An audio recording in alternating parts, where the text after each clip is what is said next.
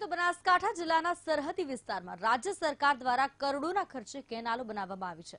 પણ એ કેનાલમાં આજ સુધી કોઈ ખેડૂતે પાણી જોયું નથી. કેનાલમાં પાણીના બદલે બાવળો દેખાઈ રહ્યા છે. ખેડૂતો પૂછે છે કે અમારી જમીન બાવળ ઉગાડવા સંપાદિત કરી હતી? જોઈએ તરસી કેનાલ અને સુકાભટ ખેતરનો અહેવાલ.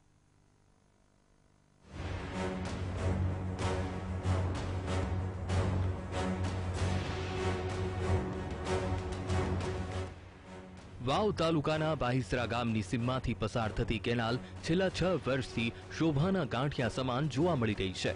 ખેડૂતો દ્વારા આક્ષેપો કરાઈ રહ્યા છે કે બે હજાર પંદર અને બે હજાર સત્તરમાં આવેલ પૂરમાં પણ કેનાલનું ઠેર ઠેર ધોવાણ થયું હતું. પરંતુ તંત્રને હજી કેનાલ રિપેરિંગ કરવાનો સમય પણ નથી મળ્યો.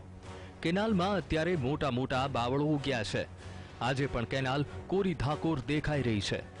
રાજ્ય સરકાર દ્વારા પૂર વખતે કેનાલ રિપેરિંગ કરવા માટે કરોડો રૂપિયા ફાળવવામાં આવ્યા હતા. છતાં આજ દિન સુધી નથી તો કેનાલ રિપેર થઈ કે નથી કેનાલોમાં પાણી છોડવામાં આવ્યું.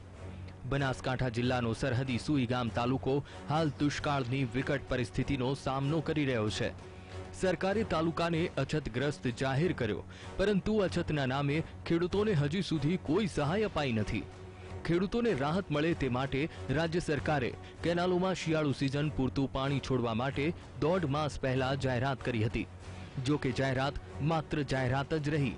હજુ સુધી છેવાડાના કેટલાય ગામડાઓ સુધી કેનાલો દ્વારા હજુ પૂરતું પાણી મળતું નથી.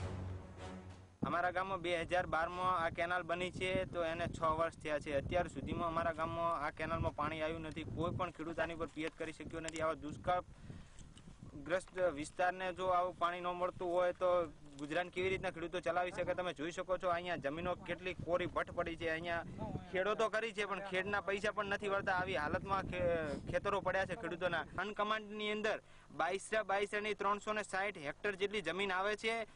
એની અંદર ત્રણસો સાઠ હેક્ટરનો પિયત કરવાની અનકમાન્ડમાં આવે છે. એ હજુ સુધી કોઈએ ક્યારે પણ પિયત કર્યું નથી.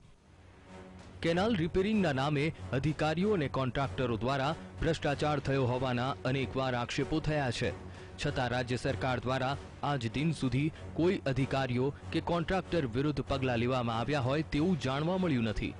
વળી આજ દિન સુધી રાજ્ય સરકાર દ્વારા ભ્રષ્ટાચાર કરનાર કોન્ટ્રાક્ટરને બ્લેકલિસ્ટ કરવામાં આવેલ હોય કે ગેરરીતિમાં સામેલ અધિકારીઓ વિરુદ્ધ કોઈ ખાતાકીય પગલાં લીધા હોય તેવો ખુલાસો કરવામાં આવ્યો નથી. શું દરેક રાજ્યમાં દરેક ખેતરો સુધી નર્મદાના જળ પહોંચાડવા ભગીરથ આયોજન હાથ ધરતી સરકારના વહીવટી તંત્રને આ કેનાલની દુર્દશા દેખાતી નથી? જો કે સિંચાઈ વિભાગના અધિકારીઓ હંમેશ મુજબ ખેડૂતોને માત્ર ઠાલા વચન આપી રહ્યા છે. બાઈસરા કેનાલનો ચાર્જ અત્યારે જ મળેલો છે. તો હું હવે જો ખેડૂતોને પાણીનો જે પ્રશ્ન છે, એના માટે આજે જ સ્થળ તપાસ કરી અને એમના પ્રશ્નનું નિરાકરણ લાવવાનો પ્રયત્ન કરું છું. હા જે બી હોય જે અધિકારી હતા, એમનો જે બી હશે, હું આજે સ્થળ તપાસ કરી રહ્યો છું અને ખેડૂતોને સાથે રાખીને એમના પ્રશ્નોનું નિરાકરણ લાવીશું. કેનાલ રિપેરિંગ કરવાની વાત તો દૂર રહી, પરંતુ આ કેનાલમાં રહેલા બાવળના ઝુંડ દૂર કરવાની પણ તંત્રને પડી નથી. જો કેનાલમાંથી જાડી ઝાંખરા જ દૂર ન કરવાના હોય અને પિયતનું પાણી જ ન છોડવાનું હોય, તો તો કેનાલ દૂર કરીને ખેડૂતોને તેમની જમીન પરત કરી દેવી જોઈએ, તેવી ખેડૂતોની માંગણી છે.